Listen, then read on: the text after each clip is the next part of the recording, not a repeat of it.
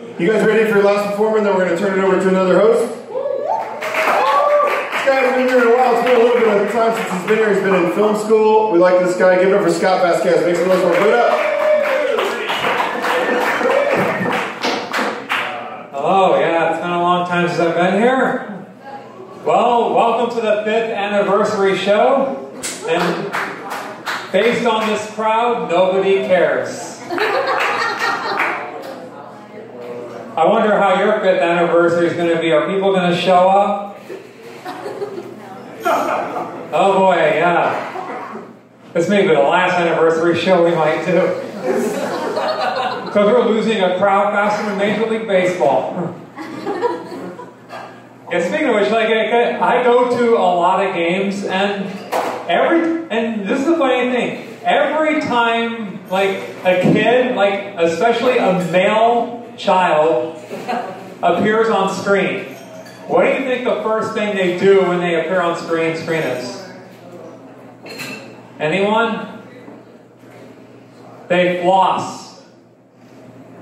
You know that dance craze that's going on called the floss? Is like, okay, like, why? Like, I know it's a craze, and like, how come in every little boy's mind, every time they appear on the video board, like, oh crap, I have to floss? Because if you don't, you're not cool or something? I mean, like, why? Let me know. Why do you immediately have to do that when you appear on screen? Here is my theory. Because uh, you know what the floss is, right? How, how, how, they all do this and all that stuff. Now, this is my this is my theory. Look at where their hand is. And what if I point like this? I mean, like, is this is is this their way of of like is this their calling card for sex or something? Like, oh look. I mean, seriously, look at their hand is pointing. And don't even get me started about the height. Because you know how they do it? Like, what does this look like? And know, you, no, this is a real move called the hype. It's like, what? I bet you the guy that invented that dance was holding a dildo when he came up for this. And people, and this is the funny thing: people who don't do it, you know what they call us? They call us grandpas. Like, if, like if we do like the twerk, that's a grandpa now. Okay, you want to see grandpa? I'll show you grandpa.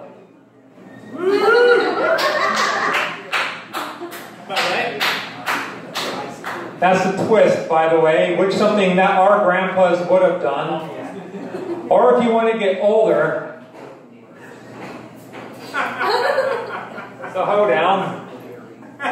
Okay, so Okay, how many people, speaking of baseball, how many people are watching the playoffs? A couple of people? All right, good. Now, this is the strange thing that happened yesterday. Because, it, because you know that the, the Houston Astros eliminated the Cleveland team, and the Dodgers eliminated the Atlanta team. So this is the funny thing. You know what yesterday was? Columbus Day. And both the Indians and the Braves were eliminated. America! And those of you football fans, the Redskins got raped yesterday. and so, but don't worry, today we got our revenge. The Yankees got eliminated. kind of a anti-America thing. Like, I mean, like, how weird is that? Like, a, were they destined to get eliminated on that particular day? Oh boy. yeah, me, me being an autistic person, I can't play baseball because they'll have to put me on the disabled list.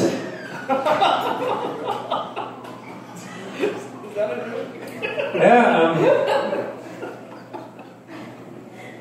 and no, I'm not faking my autism.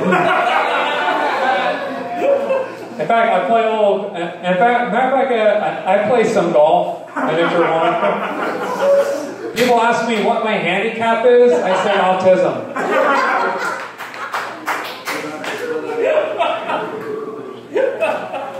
Is Ted here? Okay, now I'm gonna leave you on. I'm gonna leave you on this note here. Like, uh, did you know that people that there are these people that try to sue Cher? Like, how many people know Cher? Yeah, like a, there were a group of people that tried to sue Cher, and when they tried to go to the lawyer, they didn't have enough money to go with the case.